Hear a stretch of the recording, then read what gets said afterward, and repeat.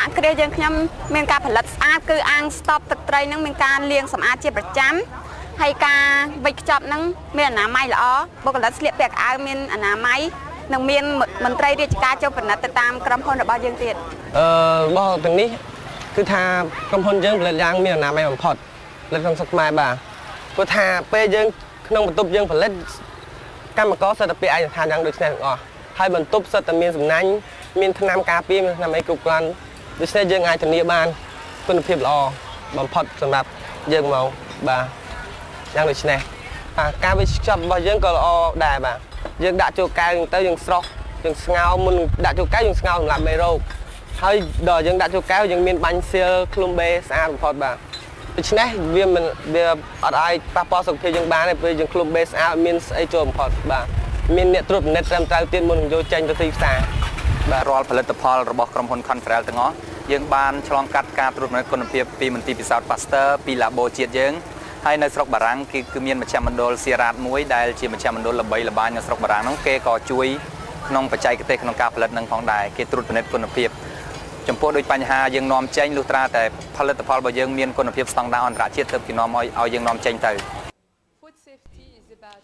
អនាម័យនិងសុវត្ថិភាពម្ហូបអាហារតកតងទៅនឹងការអប់រំនិងស្តង់ដារផ្សេងផ្សេងការអប់រំ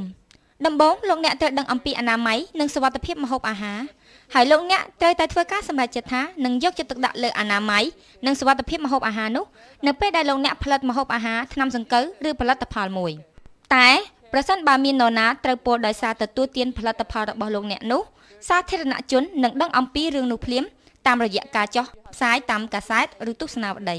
ក្នុងនាមជាអ្នកប្រើប្រាស់តើលោកអ្នកបារម្ភឬទេនៅពេលដែលលោកអ្នកទទួលទានចំណីអាហារនៅក្នុងហាងមួយដែលគេប្រើទឹកកខ្វក់ទៅជំរះចានហើយក្នុងនាមជាម្ចាស់ភោជនីយដ្ឋានតើលោកអ្នកបានគិតគូរឬទេនៅពេលដែលអតិថិជនបោះចោលឆ្អឹងនិងក្រដាស់នៅក្រោមតុនោះ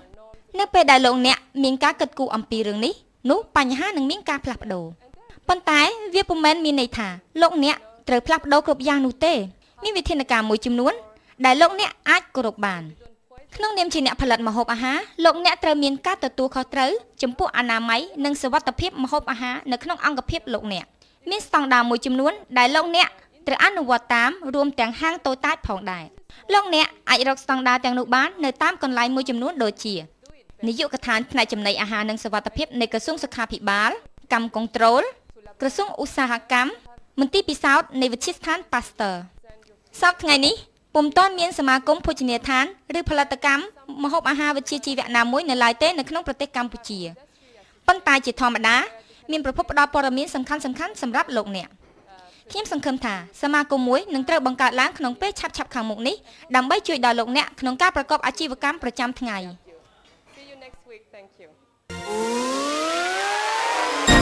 ទស្សនៈទាំងឡាយរបស់សហគ្រិននិងអ្នកជំនាញការលោកអ្នកអាចយកទៅពិចារណាដើម្បីទាញយកប្រយោជន៍ក្នុងការធ្វើអាជីវកម្មរបស់លោកអ្នក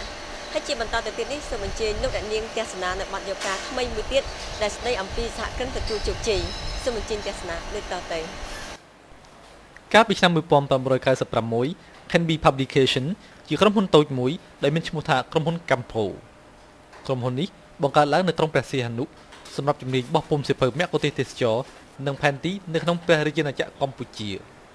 ក្រុមហ៊ុននេះចេញផ្សាយសារដៃរបស់ខ្លួនដំបូងនៅខែកុម្ភៈឆ្នាំ1997ដោយបោះពុម្ពសៀវភៅទេសចរស្ដីពីក្រុងព្រះសីហនុនាឆ្នាំបន្តបន្ទាប់មកក្រុមហ៊ុនបានចាប់ផ្ដើមបោះពុម្ពសៀវភៅមគ្គុទ្ទេសក៍ទេសចររាជធានីភ្នំពេញនិងសៀមរាបកំឡុងពេលឆ្នាំ1996 97គឺយើងកំពុងតែចាប់ផ្ដើមថ្មីហើយពេលនោះ អ្វីអ្វីគឺថ្មីទាំងអស់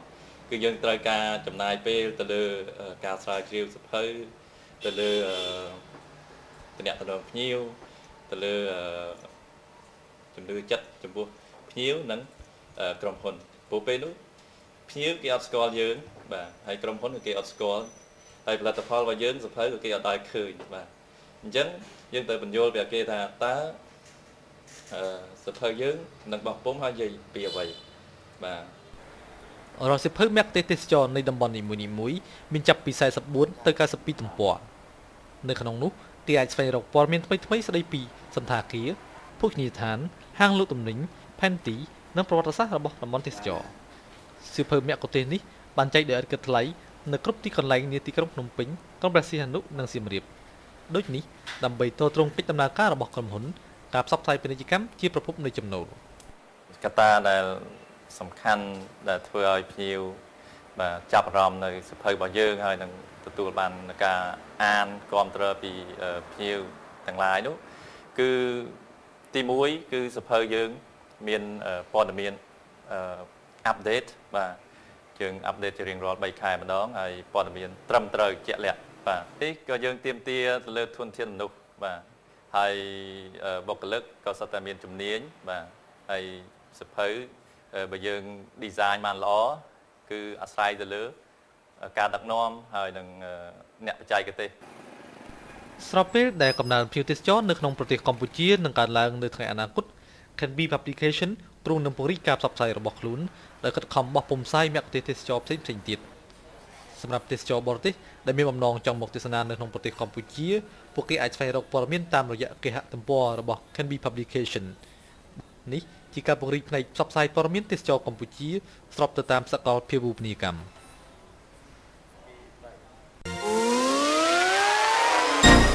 នៅក្នុងសប្តាហ៍នេះយើងខ្ញុំបានទទួលនៅសំណួររបស់សហគ្រិនយើងដែលសួរមកកាន់កម្មវិធីយើងថាតើខ្ញុំត្រូវការពារខ្លួនខ្ញុំយ៉ាងណា ហើយធ្វើយ៉ាងណា ដើម្បីឲ្យអ្នកម៉ៅការបន្តរបស់ខ្ញុំគោរពកិច្ចសន្យាក្រោយពីជួបជាមួយនឹងអ្នកជំនាញការយើងខ្ញុំសូមផ្ដល់ជូននៅចម្លើយដូចតទៅ លោកអ្នកការពារខ្លួនលោកអ្នកនៅក្នុងការធ្វើប្រកដីកម្មទំនាក់ទំនងជាមួយអ្នកម៉ៅការបន្តជួនកាលការព្រមព្រៀងជាពាក្យសម្ដីมันមានភាពច្បាស់លាស់ទេដៃគូរបស់លោកអ្នកអាចនឹងយល់ពីអ្វីដែលលោកអ្នកយល់ដូច្នេះលោកអ្នកកត់ត្រានៅអ្វីដែលលោកអ្នកនិងដៃគូរំពឹងពីគ្នាទៅវិញទៅមកហើយនេះគឺជាស្ថានភាពកាន់តែប្រសើរក្នុងការការពារលោកអ្នកនិងដៃគូរបស់លោកអ្នកដោយសារលោកអ្នកអាចអានអាចពន្យល់ និងពិភាក្សាមាត្រានានាម្ដងហើយម្ដងទៀតហើយទាំងលោកអ្នកនិងដៃគូមានការយល់ឃើញដូចគ្នាចូលចងចាំថាស្មារតីនៃកិច្ចសន្យាគឺត្រូវមានយុត្តិធម៌ចំពោះគ្រប់ភាគីដូច្នេះលោកអ្នកប្រកាសថាភាគីទាំងអស់នឹងព្យាយាមគោរពតាមកិច្ចសន្យាដោយសារតែភាគីទាំងអស់ចង់បានទំនាក់ទំនងយូរអង្វែងប្រសិនបើភាគីណាមួយមិនគោរពតាមកិច្ចសន្យា ភាគីម្ខាងទៀតអាចយកកិច្ចសន្យាដែលបានចុះហត្ថលេខាមករំលឹកប្រសិនបើពិតជាអយុត្តិធម៌នៅក្នុងការអនុវត្តកិច្ចសន្យាមែនលោកអ្នកអាចទៅរកតុក្នុងអនាគតដ៏ឆាប់យើងនឹងមានតុលាការពាណិជ្ជកម្មមួយ ដែលនឹងធ្វើឲ្យវិវាទផ្នែកពាណិជ្ជកម្មអាចដោះស្រាយបានឆាប់រហ័សនិងប្រកបដោយប្រសិទ្ធភាពខ្ពស់លោកអ្នកនាងទូតទេសនិកជនជាទីគោរពកម្មវិធីអាជីវកម្មឈានមុខបានឈានមកដល់ទីបញ្ចប់ហើយ ប៉ុន្តែមុននឹងជម្រាបលានាងខ្ញុំសូមជម្រាបថាអាជីវកម្មឈានមុខជាកម្មវិធីរបស់លោកអ្នកជាពិសេសរបស់សហគ្រិននិងអាជីវករដូចនេះបើសិនជាលោកអ្នកមានចម្ងល់ឬក៏សំណុំពរអ្វីសូមតាក់ទងមកកាន់កម្មវិធីយើងខ្ញុំតាមរយៈអាសយដ្ឋានដែលមាននៅលើកញ្ចក់ទូរទស្សន៍នេះស្រាប់ហើយលោកអ្នកអាចតាក់ទងមកកាន់យើងខ្ញុំតាមរយៈទូរស័ព្ទស្វ័យប្រវត្តិលេខ023 369